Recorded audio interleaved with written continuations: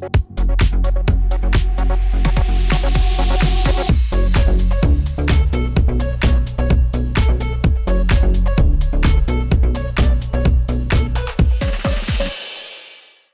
you remember last year when all these apps were going viral where you would upload photos of yourself and then the AI would turn you into a fairy princess or a beautifully illustrated cartoon or a futuristic space person?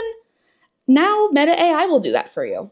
This week, Meta released its flagship Llama 3.1 405B model, which the company says is more complex than the existing version of its AI.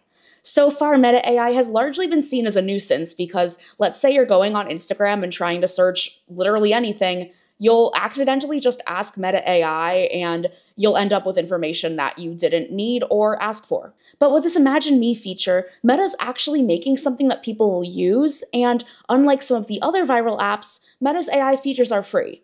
Lensa AI got popular for its Magic Avatars feature, which got almost 13 million downloads in 11 days when it blew up in December 2022. This started a trend where various AI avatar apps took over the iOS App Store charts, but there were also privacy concerns around these apps. For example, if you're uploading 10 photos of yourself for the AI to synthesize and turn you into an astronaut, what happens to these photos after the fact? Does the AI generation happen on device, or are these images being uploaded to a cloud server, and then what happens to them?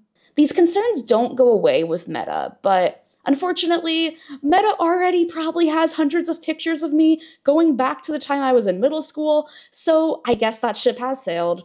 Not to mention, in some cases, Meta already is training its AI on our public posts, and unless you live in Europe where there's comprehensive data privacy laws, you really can't do anything about that.